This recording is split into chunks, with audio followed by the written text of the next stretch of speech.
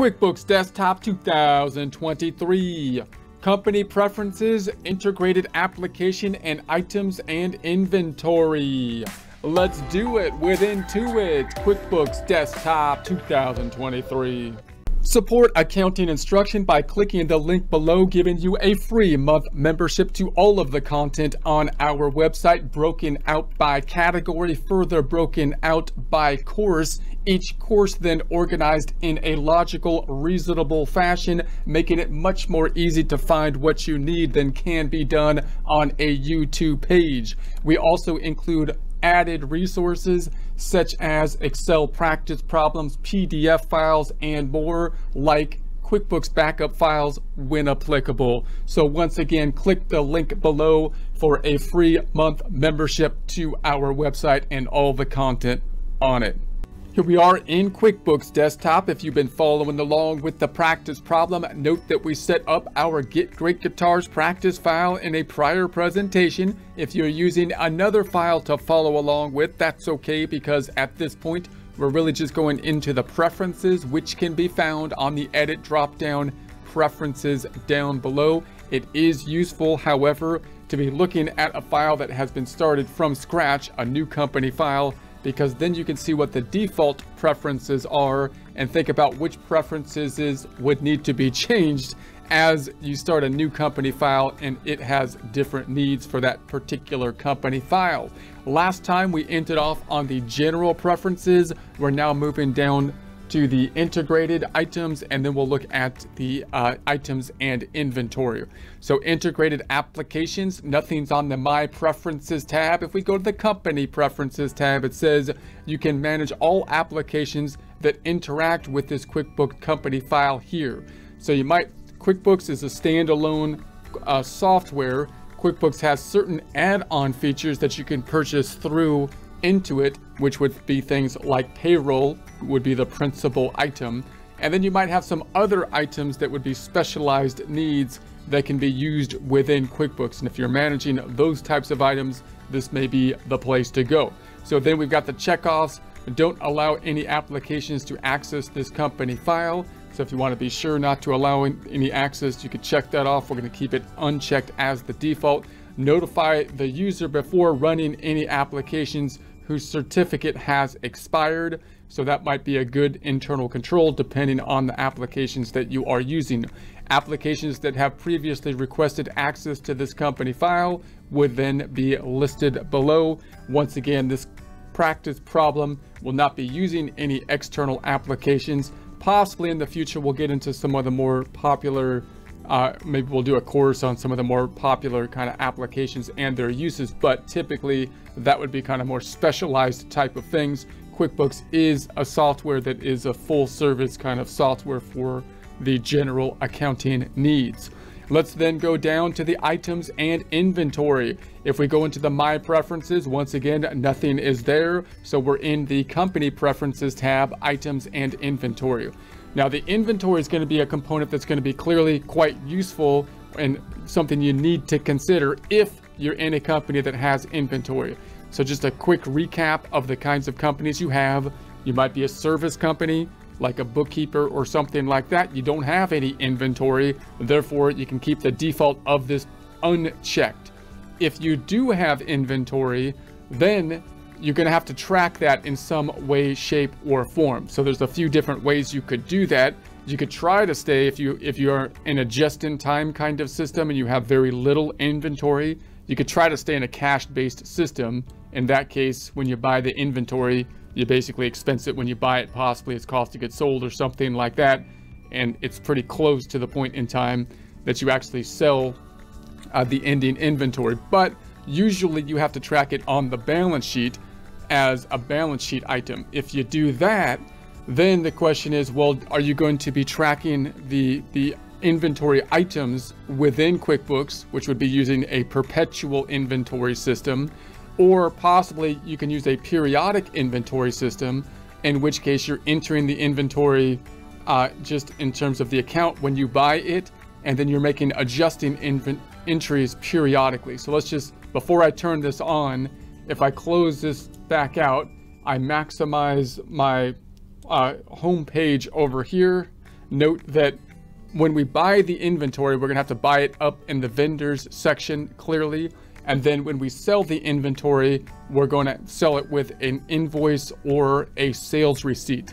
If we have a perpetual inventory system, then when we buy the inventory, uh, it, the system will track it when we buy it, and it will have to list the inventory in a subledger by the type of inventory we purchased.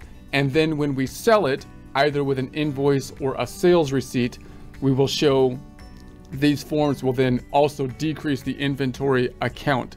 So that would be a full service uh, perpetual inventory system. QuickBooks is going to have to use a flow assumption to do that. The flow assumptions are FIFO, LIFO, weighted average, or specific identification if you had that method, but it's going to be using typically a weighted average is the general method used for uh, QuickBooks desktop type of software.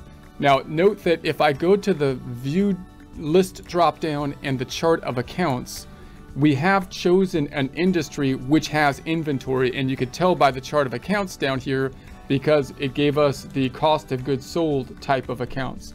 But it didn't actually give us uh, or turn on the inventory in terms of the perpetual inventory system. We can tell that because if I go into the home page in the vendor section, I don't have this added line that typically is in place if you're tracking inventory. I think that QuickBooks might do that because even if you have inventory, you might be using a, a periodic inventory system. In that case, when you buy the inventory, you might just manually put the inventory to an account. So if I go into the bills here, when I buy inventory, maybe I just assign it to an inventory account as opposed to using an inventory item, which would assign it to an account and track it in a subledger. And then uh, as and then periodically I count the inventory and I actually make just a journal entry decreasing the inventory and recording the cost of goods sold periodically, possibly nightly, possibly weekly, possibly monthly.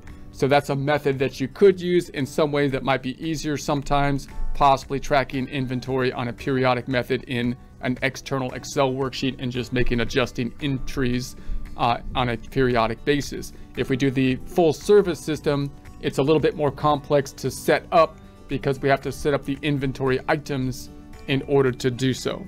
Okay, so let's turn it on now because we are going to use inventory in the system. So we'll go to edit preferences and we're going to go to items in inventory and then let's turn on the inventory. So inventory and purchase orders are active. Warn about duplicate purchase order numbers. That's typically a good kind of internal control. Warn if not enough inventory quantity on hand. So we're tracking the inventory real time as we buy and sell it. So it's going to tell us when, you know, when we're getting low.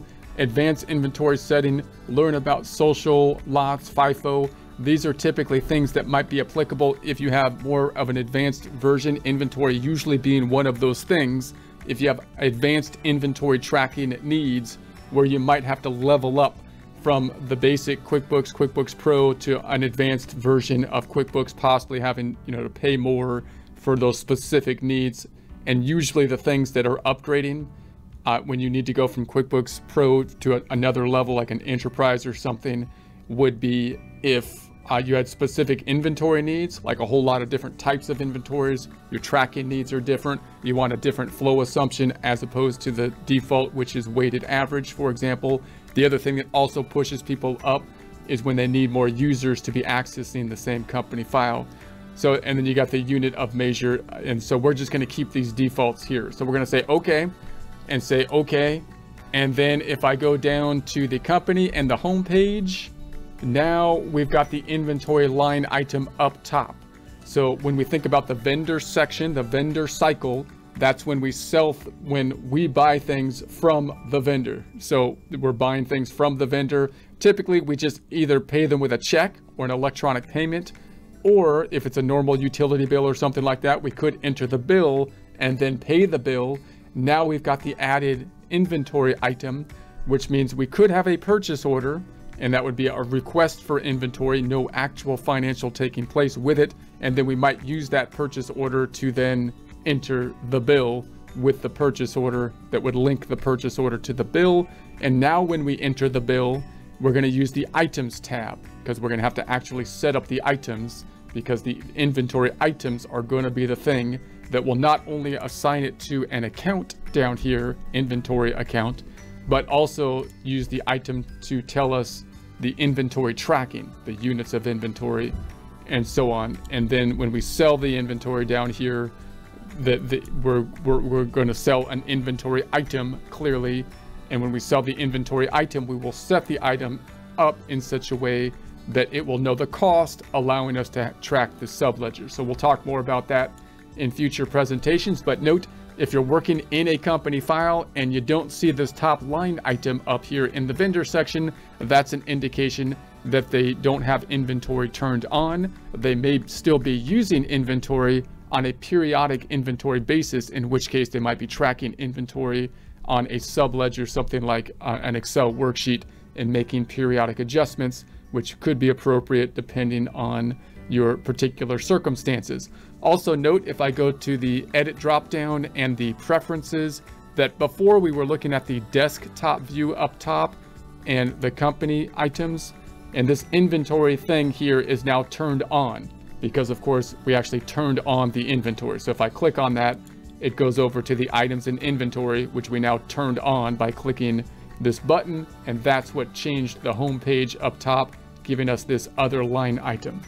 So we're going to continue on with more of the preferences in future presentations.